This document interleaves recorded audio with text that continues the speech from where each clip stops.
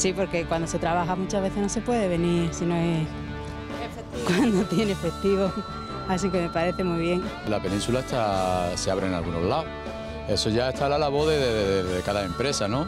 Y también que beneficia al trabajador. Pero sé, positivo, pues sí puede ser positivo. Claro que puede ser positivo, porque aquí en Melilla no hay sitio donde ir y la gente yo creo que iría a esos sitios, ¿no? Una vez que abrieran el sitio.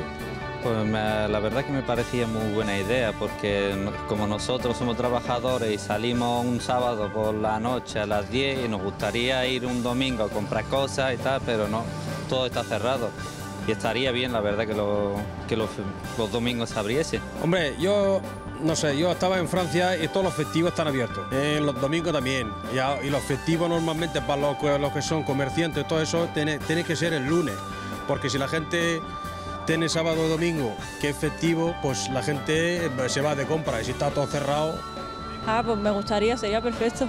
Sí, sería positivo porque va, habría muchas ventas. Si ellos están de acuerdo en abrir los domingos, si es una elección de ellos también, pues entonces sí. Este a los demás tampoco, a los demás comercios, ¿no? Para mí eso muy bien. Yo que aparte vengo a visitar a mi hija que soy de la península y tenemos más tiempo de comprar por lo menos. Fatal.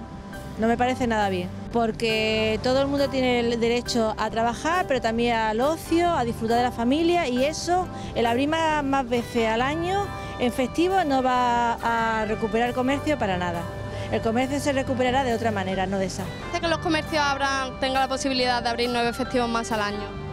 Me parece bien, pero no tiene ningún sentido si no se arregla ante la frontera. Es decir, aquí la cuestión es que eh, está muy bien que se abran todos los domingos, o sea, como si queremos abrir los 52 domingos de- del año, pero si no tenemos una frontera fluida, porque realmente el comercio de nuestra ciudad necesita de la asistencia de la gente procedente de Marruecos, no tiene ningún sentido. Por lo tanto, yo creo que lo primero, antes de abrir nueve domingos más, lo que tiene que hacer es arreglar la frontera, que sea más fluida.